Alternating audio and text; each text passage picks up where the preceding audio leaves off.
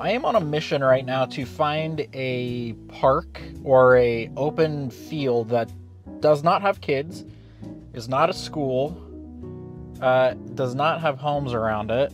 I have my drone in the back seat with a surprise guest right there. I'm going to be dropping that out of the sky.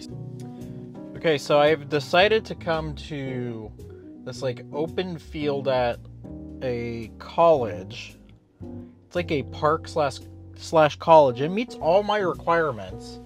You know, there there's a few more cars than I would care to be here, but I think if I go into the woods a little bit more that way, I should be clear.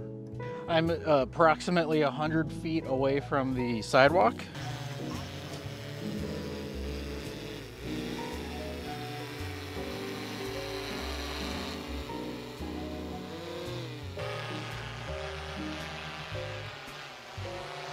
God, what does this look like from afar?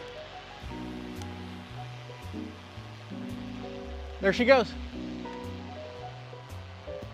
Oh, oh, dude, this works.